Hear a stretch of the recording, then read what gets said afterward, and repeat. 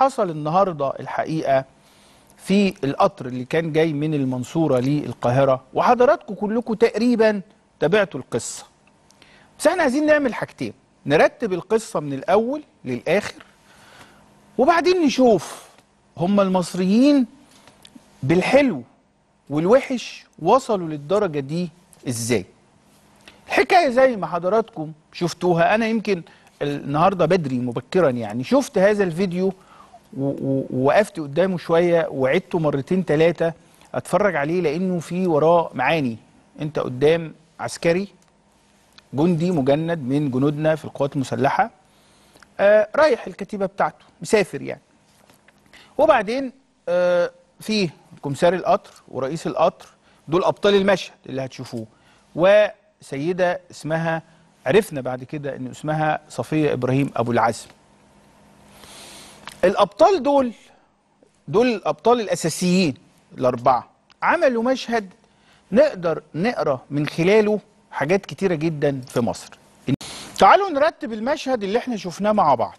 أول حقيقة فيه عشان بس الناس ما تبقاش مختلط عليها الأمور إحنا قدام العسكري ده مش إن هو معهوش فلوس هو معاه فلوس بدليل إن هو في الآخر طلع الفلوس من محفظته وكان بيديها للست صفية أبو العزم فهي قالت له والله ما هاخد منك فلوس أنا عندي ثلاث شباب زيك. فأول حاجة إحنا مش قدام مجند ما معهوش فلوس. فبتاع القطر جه قال له فين تذكرتك؟ لا ما معيش. فين الفلوس؟ لا ما معيش. والله نلغي بس الإيه؟ الحكاية دي. ده أول حاجة. تاني حاجة المشهد ده ممكن يحصل يحصل في كل قطارات مصر خلال اليوم عشرات المرات. الصدفة إيه؟ إنه المشهد ده اتصور.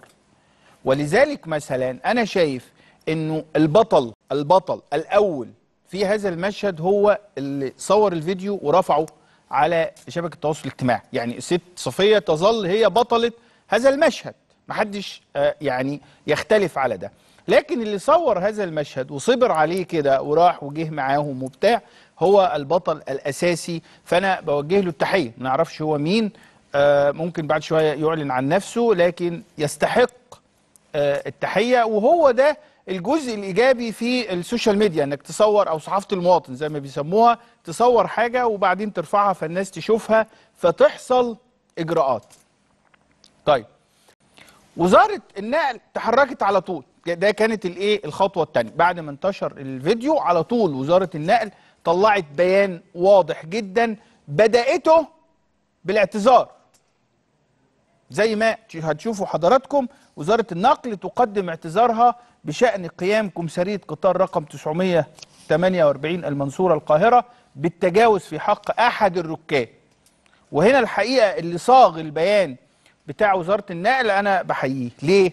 لأن هو استخدم استخدم التعبير بتاع أحد الركاب لأنه هو في النهاية هو هو عسكري جيش مش مش عسكري جيش هو مواطن مصري تم التعامل معاه بشكل مهين فالوزاره بتعتذر عن التجاوز في حق أحد الركاب. وبتؤكد احترامها واحترام كافة العاملين في السكة الحديد لجمهور الركاب بوجه عام. وده برضو نوع من الذكاء الشديد في صياغة البيان لجمهور الركاب. بوجه عام وكل أفراد القوات المسلحة الباسلة والشرطة على وجه الخصوص ولما بينص بيان على رجالة الجيش أو رجالة الشرطة مفيش فيه نوع من التمييز ولكن هو فيه نوع من الاعتراف بالجميل لأنه الناس دي بتقوم الحقيقة بأدوار كبيرة جدا خلال السنوات اللي إحنا عايشينها والجيش عموما طول الوقت بيقوم بدور كبير جدا. طيب الوزارة كملت كملت البيان بتاعها. وقالت حاجة هنرجع لها بعد شوية. يعني سيب الفقرة الثانية كده اللي قدام حضرتك وروح للفقرة الثالثه قالت إيه؟ إنه آه التوجيهات المستمرة التي تصدر لكل العاملين بالسكة بالسكك الحديدية ممن لهم تعامل مع جمهور الركاب تنص على الاحترام التام للركاب والعمل على خدمتهم وتيسير تنقلهم على خطوط السكك الحديدية المختلفة. وانه كافة المواقف التي تحدث بين أطقم تشغيل السكة الحديد والراكب يجب أن يكون في إطار القانون وفي إطار احترام الراكب وأنه لا تهاون مع أي مخطئ في حق أي راكب وأن الوزارة ستستمر في خدمة الركاب.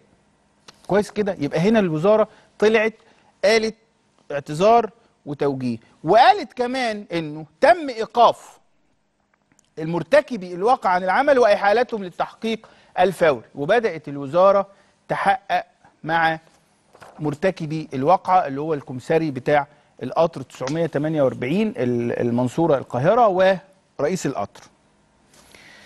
القوات المسلحة على طول لأنه أحد الركاب ده مجند. طلعت البيان بتاعها أنا برتب لحضراتكم الواقع من الأول للآخر. وقالت القوات المسلحة برضو في بيان مسؤول إنه تؤكد القيادة العامة للقوات المسلحة احترامها لكافة مؤسسات الدولة. وأن جميع أفرادها يتحلون بالانضباط الذي هو من التقاليد الأصيلة للمؤسسة العسكرية وأن جنودها هم عصب القوات المسلحة على مر العصور وهم حماة الوطن الذي نعيش فيه.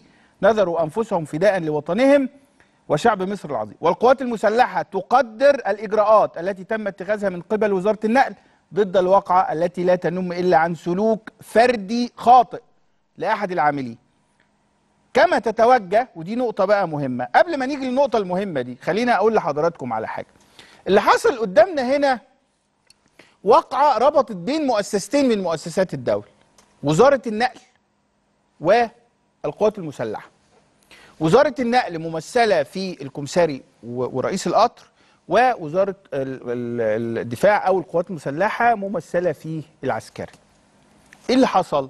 هنا تعامل راقي جدا وناضج جدا ومتطور جدا للتعامل بين المؤسسات لأن هي مش هتبقى خناقة. طلعت وزارة النقل قالت إحنا آسفين وبنعتذر وبنقدر رجالة الجيش. الجيش قال إحنا بنحترم مؤسسات الدولة والأهم من ده إن إحنا بنتعامل مع ما حدث على أنه خطأ فردي. لأن أنت كان بسهولة ت- ممكن تطلع تقول شوف بقى الكمسارية وشوفوا رؤساء ال- القطارات. وبيهينوا الناس وبيبهدلوا الناس وبيحطوا من قدر الناس وبيحتقروا الناس المصريين بيتبهدلوا. أنت بتبص للواقعة في إطار فردي. آه، كمساري وسواق قطر. كان لافت كمان إن القوات المسلحه وجهت التحية للست صفية نصا. كما تتوجه القيادة العامة للقوات المسلحه بخالص الشكر والتقدير للسيدة المصرية العظيمة التي شهدت الواقعة في القطار. وتمسكت بدفع ثمن تذكرة الركوب وتؤكد أن ما فعلته هو تعبير عن أصالة المرأة المصرية التي تحمل في قلبها الكثير من العطاء والإنسانية والامومه